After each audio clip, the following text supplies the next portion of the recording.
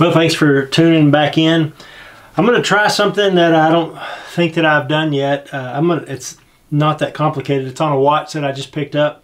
This uh, Timex uh, T2N700 quartz, uh, intelligent quartz is what it's um, labeled as. You can kind of see it there uh, under the close-up. I'm going to try to, to take this, pop this back off and, uh, and do everything under the under this other camera so that we can kind of see.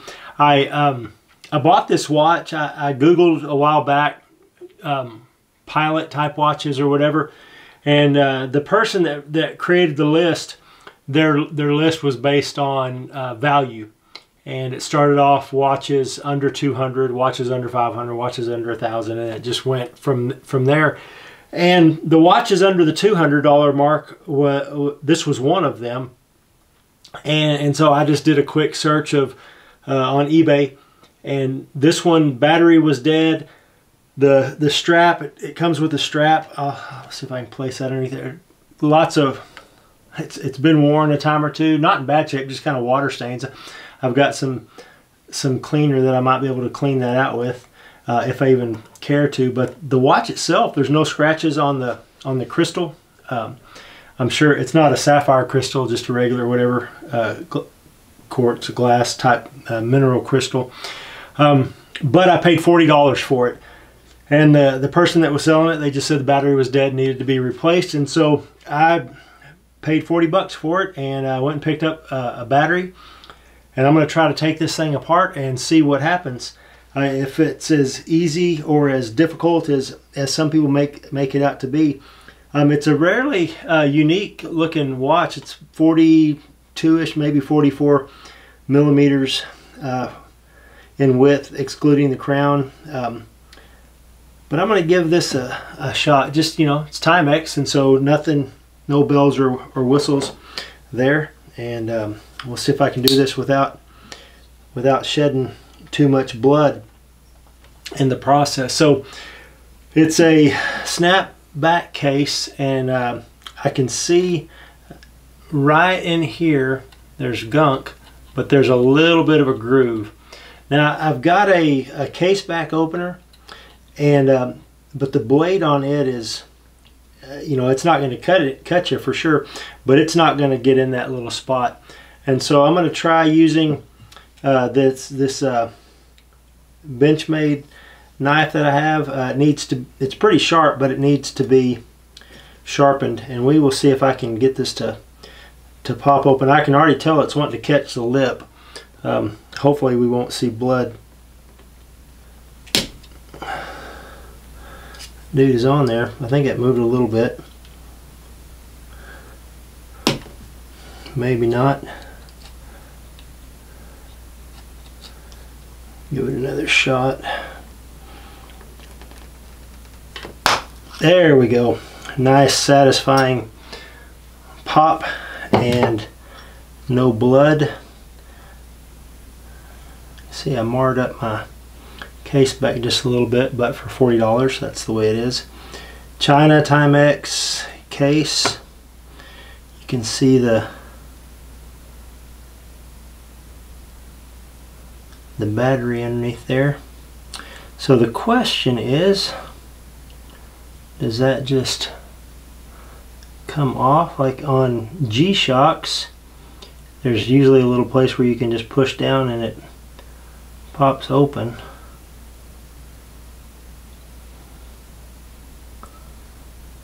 But I am not seeing anything. I'm guessing maybe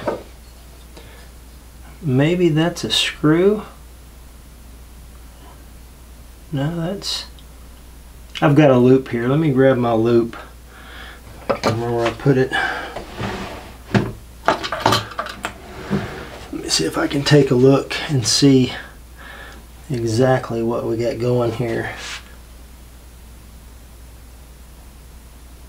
No, that is...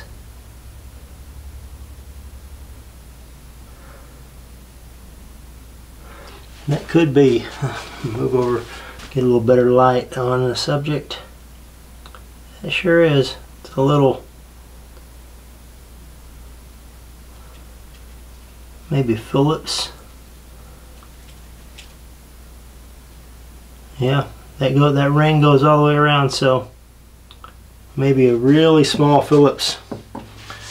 Or if I've got a standard screwdriver that small, this one may work. Man, that's little. This is one of those deals where I tell myself, don't do this. I don't have a proper workbench to do these kind of things. And um, these screws are notorious on a lot of watches for for launching.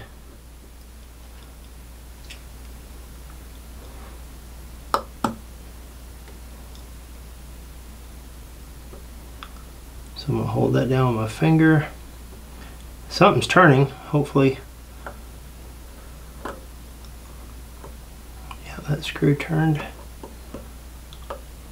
I know you can't see that.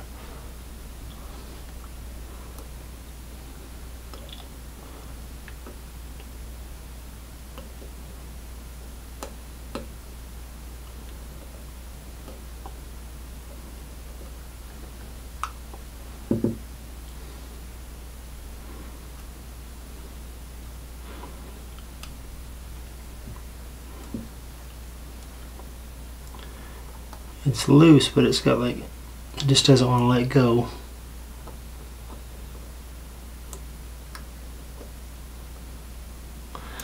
alright let's see if I can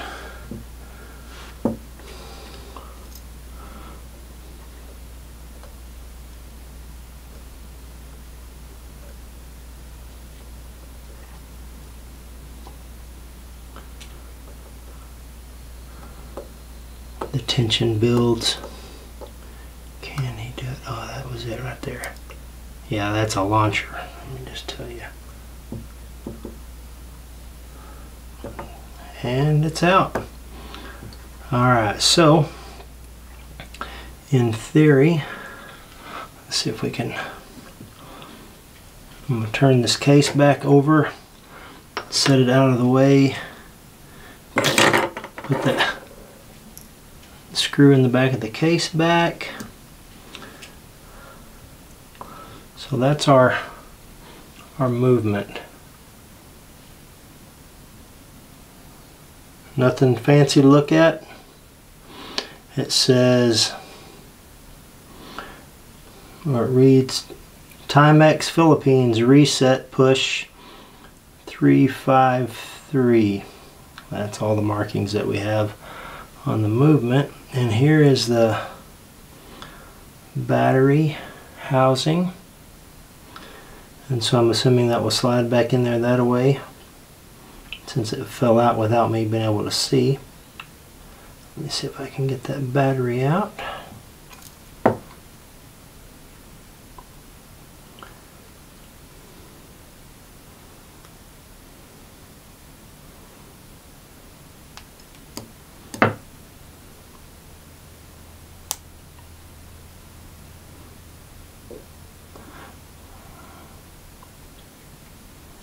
yeah you just kind of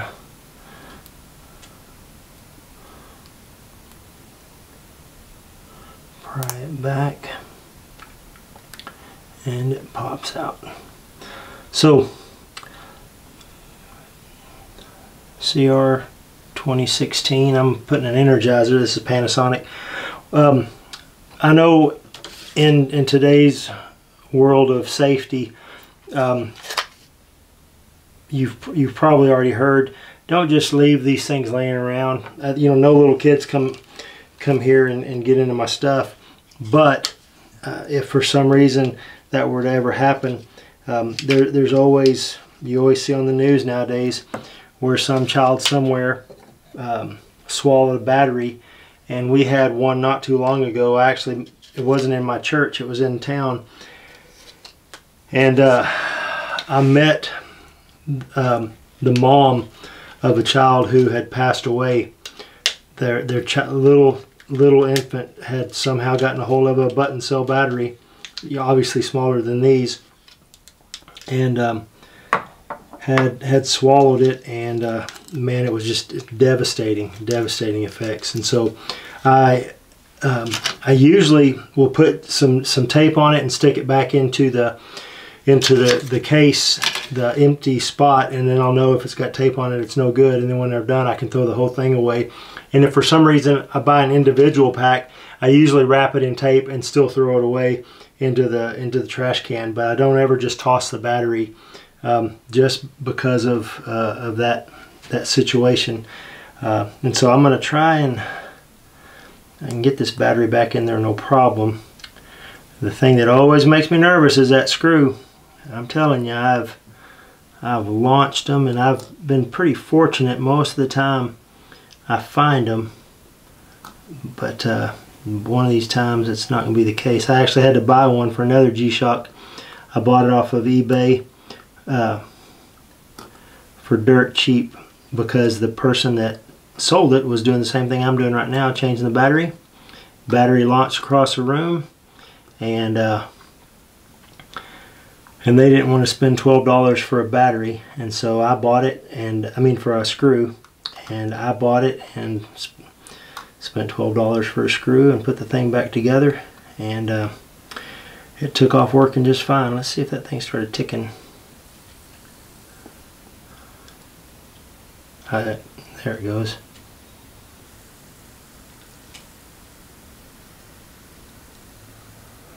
I don't think I think that's focusing on something otherwise. Anyway, it was moving, so that's a good sign. So now the chore will be getting that screw back in the right spot there. And so I will grab the screw if I can.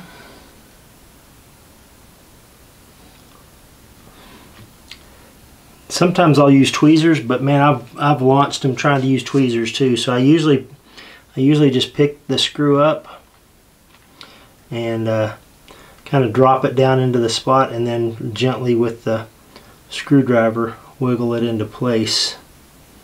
Sometimes that works and sometimes it doesn't.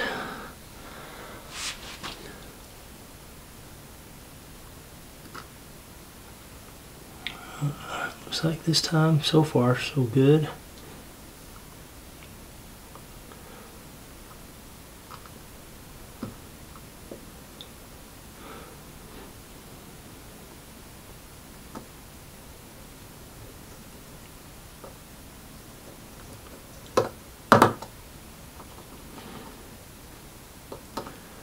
Talking to a watchmaker one time. This guy was working on pocket watches and he had he was actually a certified Rolex watchmaker and uh, he was telling me about one of the things that he always took pride in was never leaving a mark on a movement. or Something like this doesn't matter. Just a second ago, whenever my screwdriver clunked down hard, I'm sure I left a little bit of a mark. And he said that was one of the things that when he was uh, studying, that they always uh, tried to ensure that you never did was uh, run your your screwdriver across uh, the movement or whatever tool you happen to be using at the time and, and leave marks. And so I appreciated that uh, from him anyway. All right, so this is usually the hard part on these case backs is popping it back in because you know they only have a water resistance of like a hundred meters. This thing is filthy. The the gasket's still in there. Um, I've got some silicone somewhere but I'm not going to mess with it since this is not going to be a dive watch. Um, and it was not real dry. But getting this thing pressed back in without see it's got a little bit of a dome crystal. And so I don't know that I'll have the, the strength just to pop it on, maybe. But it was pretty tight. No, it is not popping back on. So, what I'm going to do is,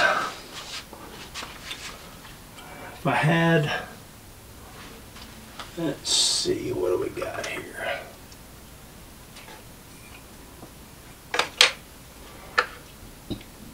Ideally about the size of a medicine, the lid of a medicine bottle Um, usually I got more things laying around in my office. Let's see. I don't think that's going to work. It'll cushion it enough, but I think it's too much cushion to... Yeah, that ain't doing any good.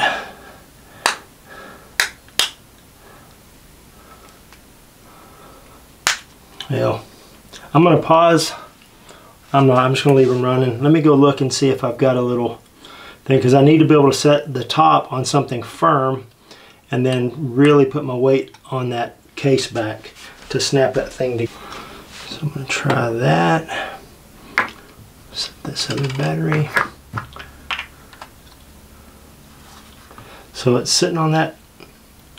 See, that's the lid off of some ibuprofen. Actually going to do this. I'm going to put this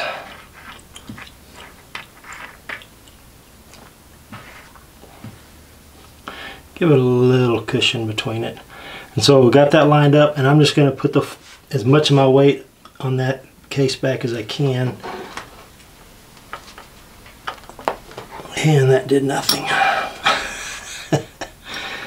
Ooh, that's a tough one. Maybe that's why the guy sold it to me cheap.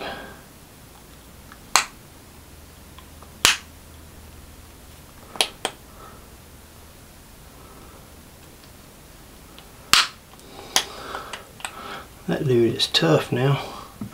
Alright, I'm going to do that. I'm going to try to work it in and then put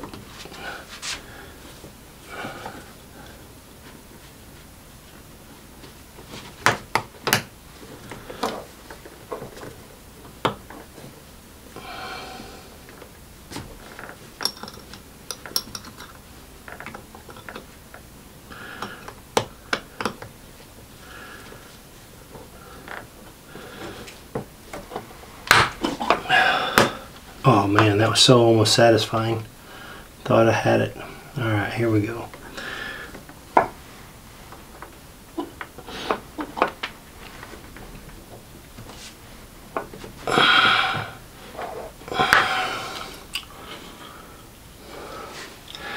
Alright, so I'm going to shift a few things around here. May not be able to do it directly under that camera, but I bet you're not being able to see it anyway. I'm to move it right here to the edge. Maybe that camera's got it.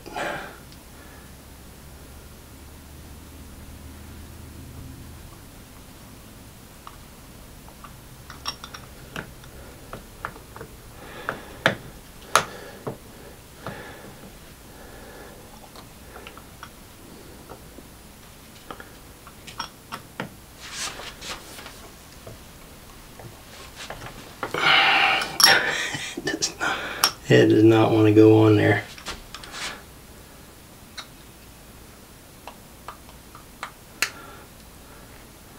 Intelligent an intelligent case, or somebody more intelligent than me trying to put this thing on. Oh, one light just died.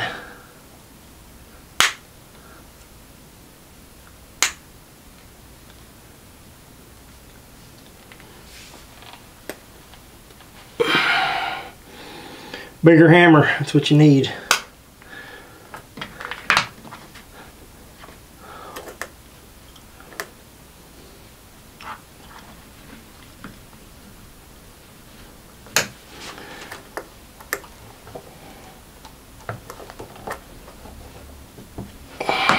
Oh, that was close. I could almost feel that thing go in at time. Um,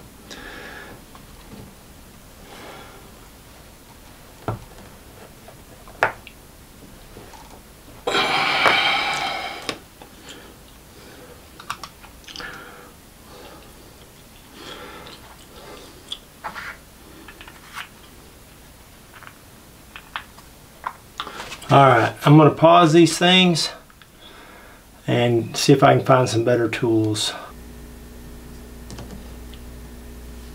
Clear stuff out of the way. Watch this for a few more videos. Alright, in theory, our path is clear.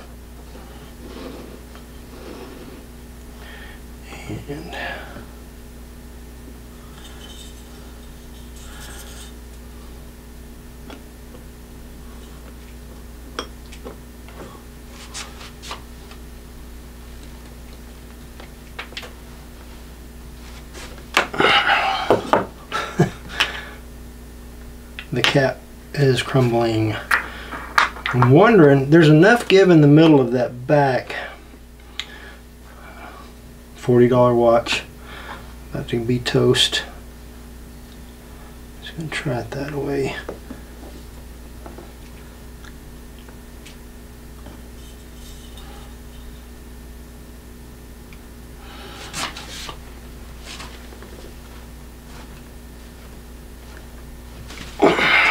That thing does not want to go on.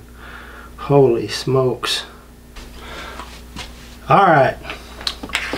So here's what I've accomplished.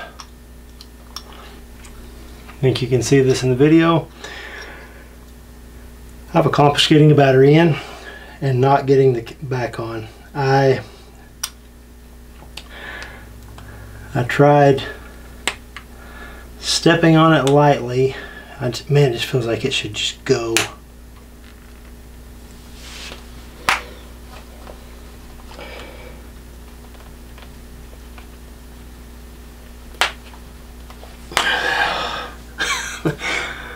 it almost goes.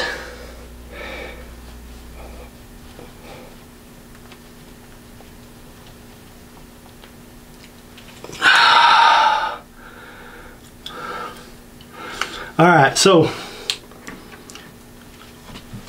failure, sort of. I've got a friend who's got a, he's replaced, actually, what did he do for me one time? I don't even remember. Anyway, he's got a watch shop in town. So tomorrow, if I don't get this, gosh, in my mind I'm thinking vice grips with some leather between. It's a bad idea. I know it, so I probably won't do that. I'm probably not going to show this part of the video. Um, but my guess is what I will do is I will take it to him and uh, and I'm sure he's got a little machine that just goes clunk and pops it right back on because I can't do it and what I'm about to resort to I am almost positive will ruin this thing. And so I would rather it not be ruined even though it is relatively inexpensive. It's still $40 golly man it just so wants to go. I know you want to go. All right well I'm calling it good. Let me see if I can set it anyway. It is 9 17 beeps. That is interesting. You can set the date either way in position one. All right, one thing I've also noticed after playing with it for a second, even with the back off, is that the hands don't reset to zero. Uh, this is horrible without that other light. Um, the stopwatch hand, the, the big hand right here, does not reset to the 12 o'clock position. So I'm sure there's a procedure like there is with most uh, quartz watches that are like this. Pull out the crown to position two, hold down both buttons, whatever it is. I'll look that up. Um, but I, I've got to get that back put on there correctly. And so that one is going to sit right here until tomorrow. And I think I will be going to town and I can get that uh, taken care of. All right. I'll be back. I may do just a real brief review on the thing um, after that. So uh, thanks for, for watching this little bit. Well, I finally got the, the Timex uh, flyback uh, watch. I got the back back on it, put back on it. Like I said in the in the video just a few moments ago, obviously, but a, a day or two ago, for me in reality. I had to take it to a, um, a friend of mine who he's a jeweler and he has all of the, the machinery a press or I can't remember exactly what he used. It. I didn't get to video him doing it, but he he put the the watch in in the device and set it all up correctly, and then uh, applied the the appropriate pressure to get it to snap back.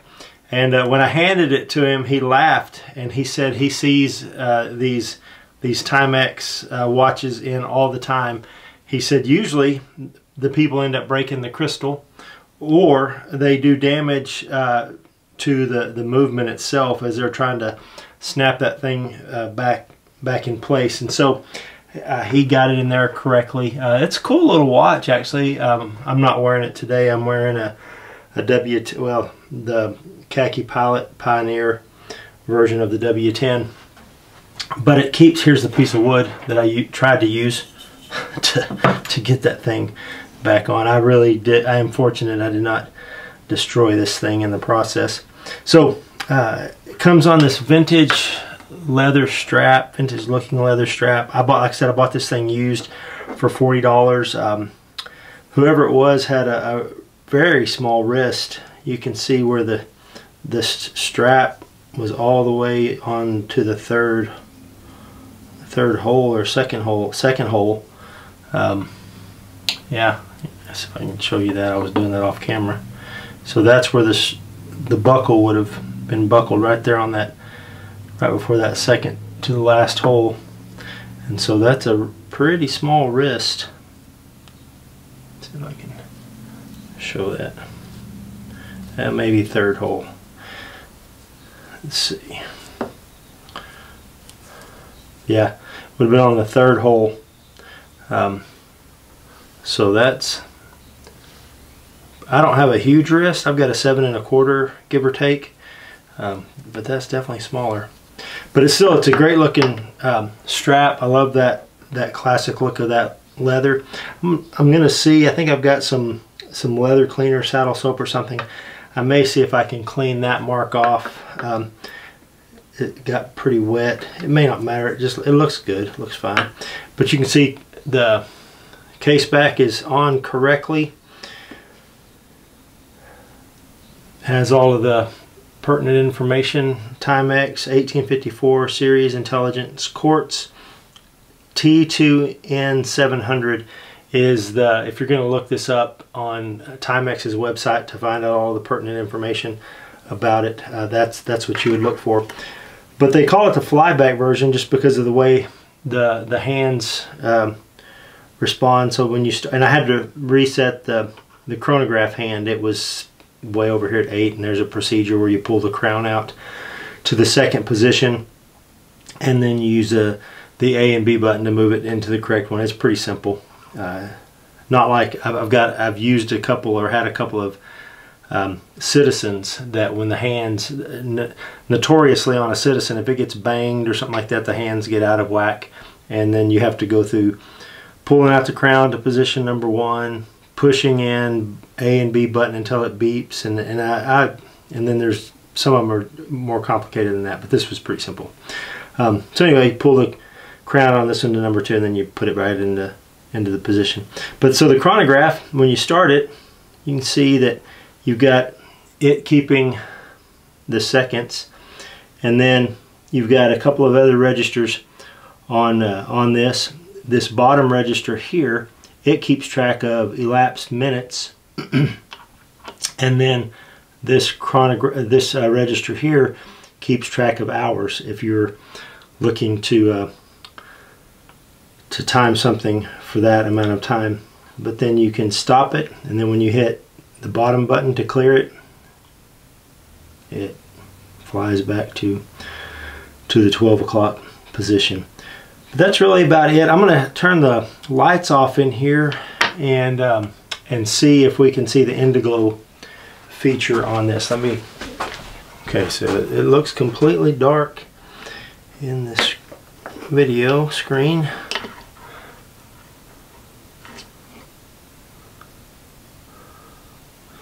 I don't think it's picking it up at all. I may try and take my, you can barely see it. Um, I used to have a an Indiglo uh, watch with Indiglo on it from Timex that man, it was it was extremely bright. I'm gonna just turn on the main lights, and uh, I think what I'm gonna do actually is I'm gonna take one of these cameras into a room that's completely dark and see if I can get that to work. Let me do a lume check on this as well. If I can find my UV light. Let's see what kind of lume we got here. Got it on the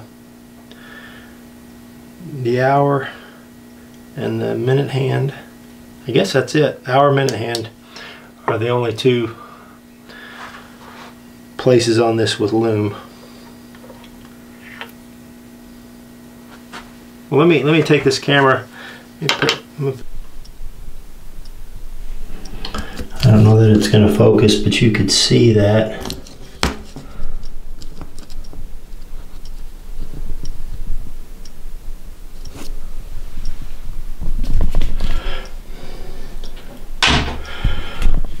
Alright, let's do this one more time.